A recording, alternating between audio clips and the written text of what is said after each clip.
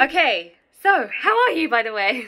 Good, long time. I know. I've obviously followed your work from the very beginning. We go way back. way back, way back when, and I I just think you guys have had such an extraordinary ascent building this area world. Yeah, I guess I kind of wanted you guys to talk a bit about this building of this world that has obviously led you to being nominated for, you know, this very prestigious prize. You know, we felt this true passion for fashion when we felt like there was really something truly design driven miss, missing in clothing and even we how we approach it it was all about um, yeah, like high fashion marketing and product or something. We really felt like there was some type of disconnection uh, with that. So I think for us it was really about creating a world that feels very special and recognizable through eras. I think we we've never really changed. We've evolved obviously and in its essence, area is always area. It's always about glamour, especially this new notion of glamour. You and even what we even thought of what glamour was and who it was being spoken to. I think for us it was really kind of rethinking all of that and kind of repurposing it in a way. You know, the, the show at the Deutsche Bank,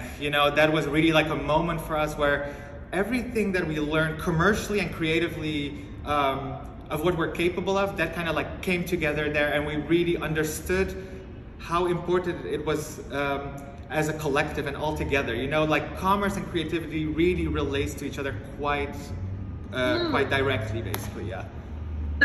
The two is, I think, the trick that you guys have really like mastered. For us, it really is in the end.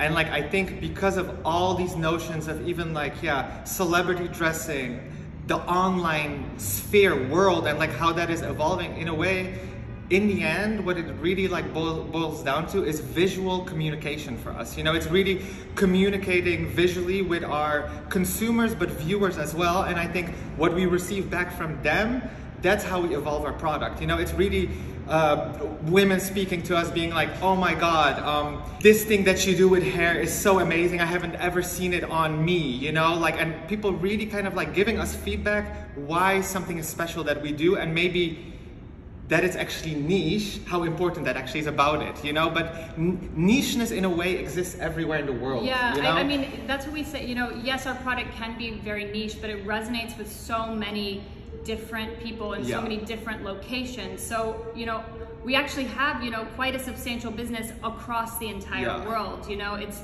it's really evenly split almost everywhere, which yeah. is really interesting and I think um, pretty unique, especially. And to that end, obviously, you set yourself up with a quite a challenging thing of uh, doing couture, being part of the Paris couture schedule. Yes. Can you talk a bit? And obviously, that relates to being part of this prize as well, which is traditionally speaking a very French and Parisian rooted prize. In a way, when we started looking back at our um, collections, you know, there was already like such a pure element of craft and beauty that, that always kind of came through in these pieces and actually informed all our commercial decisions as well. You know, it really went from top to bottom down, you know, and um, we kind of felt like this couture part that so many people already were like asking us about, like where can I where can I get this? We really felt like there was there was something there that um, that we really wanted to explore. We really wanted to showcase that um,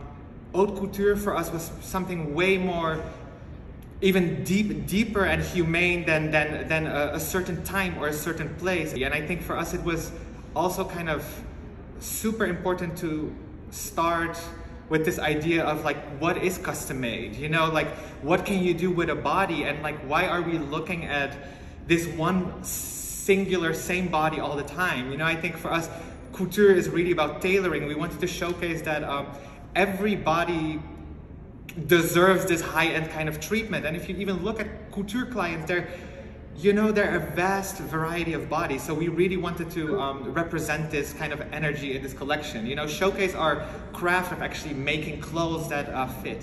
Yeah. And yeah, and I feel like it's traditionally been, you know, viewed as more like exclusive. And I think for us, it was about how can we, you know, make this process inclusive.